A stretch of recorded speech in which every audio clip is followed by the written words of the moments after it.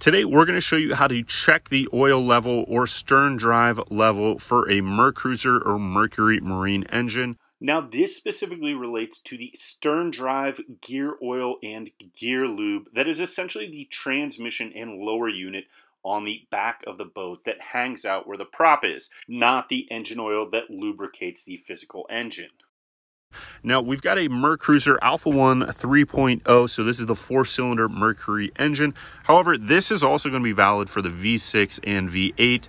The gear lube tank is pretty much in the same place on the V8, V6, and the inline four. It's typically, if you're looking to the stern of the boat, it's going to be on the right side. So you can see here what we've got is the uh, gear lube level or the uh, as you can see, high performance gear lube SAE 90. This is Quicksilver, which is the recommended lubricant for Mercury Marine. And it is even a division of Mercury Marine, as you can see there. So you want to check this uh, at the beginning of the season and then periodically. I like to check it, you know, every couple times I go out or start up the boat, uh, especially when you uh, change gear lube at the end of the season. You want to make sure you refill this and then after you drive it uh, and get the engine warmed up and everything heated up and run run for a couple hours, you always want to make sure you check it again because what's going to happen is going to draw that down into the stern drive as any of the bubbles or air pockets or anything get out of there as the engine heats up and the gear lube heats up. So we've got the cap here and we're going to take this off right now. You can see there's a little stopper here.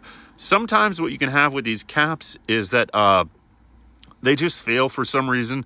And if it is a super wavy time, what will happen is if it doesn't have a good seal, like you can see right here, you're going to get some oil that spills out. You definitely don't want that. So it's just something that happens over time with these. You got to be careful of that. And then I do recommend, if you've got it, uh, to use a funnel to fill this up. Now there is a fill line right here. You can see we're low, right? We're about halfway there. You don't want to overfill these because what happens is this reservoir connects to the stern drive through a hose and if you overfill it, what's going to happen is you're going to get this once again. Uh, it'll expand and go through the actual uh, lid. So you don't want that or the cap. So we want to be below that fill line, just below it is what I recommend. Like just get as close as you can because you need to leave some room for expansion uh, as this fluid heats up. So we're just adding our gear lube in there. And there we go. That's going to be good for us. And you also want to make sure that when you fill this up, you are at a relatively level and stationary area because if it's super wavy and or for whatever your boat is off balance, you're going to refill it to the wrong level. So here we go. We've got our uh, funnel and just put our uh, cap back down on there nice and tight. So there we go.